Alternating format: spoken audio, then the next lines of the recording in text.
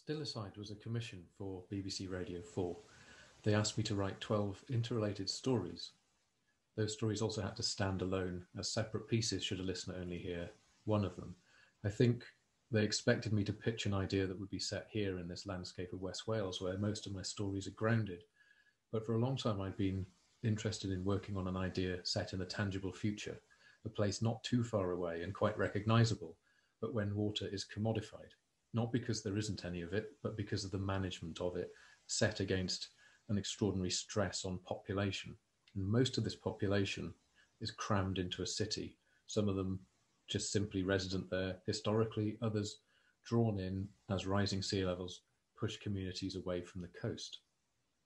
To serve the city water, a plan is underway to drag a gigantic iceberg into the centre, into an ice dock that's being built as the story progresses. But at the moment, the water's brought in by train, this huge, heavily armoured train that comes down from reservoirs in the north twice a day to give drinking water to the city. I'm going to read from Lake. This is Cora's story, and she's a thermo technician on the train, and she has an afternoon off. As she stepped out, the air suddenly seemed emptied. The sharp calls of the songbirds quiet. Moments later, the sheep began to wheel on the hill.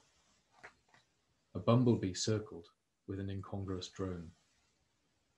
Then the faintest sing came to the wire stays of the ecomopods, and the valley filled with the sound of the train starting up. By the time Cora reached the foot of the hill, the sound was no more than a lessening hush, fading towards the city hundreds of miles away. Cora's dress stuck a little to her skin. Delicate yellow day-flying moths flew amongst the gorse. There was a heady coconut smell to the flowers. She picked them and dropped them into the bowl, patient when she pinned her finger sometimes felt showered seeds on her skin. Took a while to link the tickle to the spiky sporadic pops, punctuations in the air as the flat mature pea pods on the bushes burst in the sun.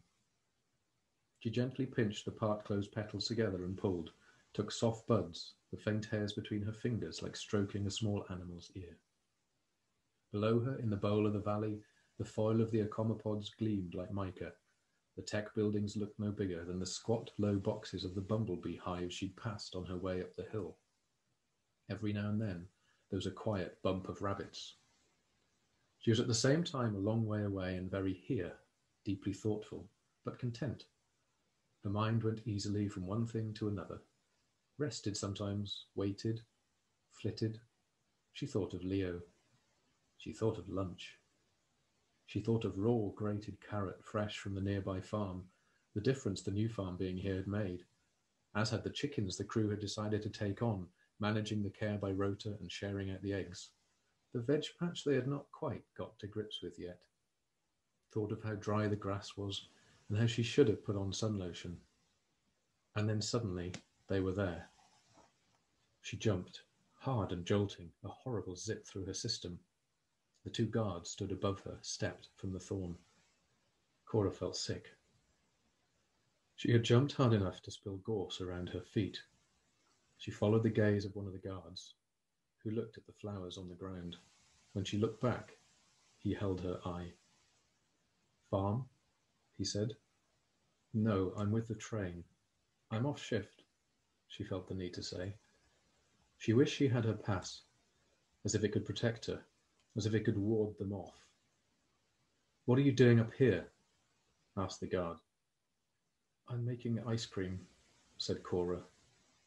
It made no sense. The guard stared at the bowl of flowers in her hand. The flowers dropped around her feet, her walking boots, her legs. The thinner guard reviewed her with strange, unbatting eyes. I've seen you, I've noticed you, he said, and it felt as if his eyes rolled into the bowl of her mouth.